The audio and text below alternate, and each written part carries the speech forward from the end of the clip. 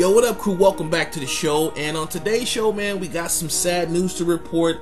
It seems as if Coke Boy artist, Queens rapper, Lionel Pickens, aka Chinx Drugs, passed away today at 4 o'clock in the morning.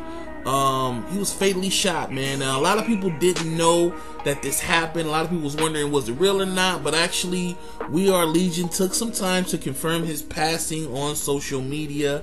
And yeah, it seems as if Chinx Drugs, who was down with French Montana's Coke Boyz, actually passed away at 31. Uh, now, apparently, what happened was he was on Queens Boulevard in 84th, and you know he had left a hookah bar and he got into his car, a Porsche Panamera, and somebody just opened up fire on the vehicle, man. Uh, fatally striking Chinx in the upper torso and also critically uh, injuring another passenger, Yemen Cheese. Uh, I know him as Aqua the Glock, and he's in critical condition right now. So it's just really, really sad to see something like this happen to a guy like this. I mean, this guy had some successful mixtapes successful songs. He really had a nice wave going out there, you know, really good response from the fans and everything. And he was really doing some positive things with his music. And to see something like this happen to a guy like that is sad. I mean, this guy was really, really loved.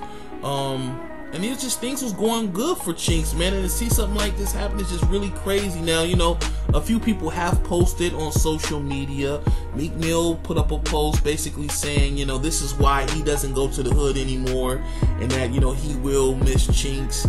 and you know details about everything surrounding this is just coming in, you know. So as more come available, I will keep you guys updated. But it's just really sad to see something like this happen. Um, you know, rest in peace to Chinx, man. He was only 31. Uh, please put, you know, Yemen Cheese, aka Aqua the Glock, in your prayers, man.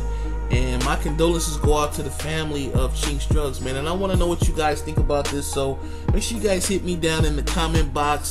And for those who don't know about it, share this across your social networks. And yeah, man, Lionel Pickens, aka Chinx Drugs, passed away from a fatal gunshot today. He was only 31, man. I want to know what y'all think about it. That's it for this one. I'll see you guys on the next vlog. Until then, it's your partner Just Mike. Stay up. Much love. Stay safe, guys. And I'm out. Peace.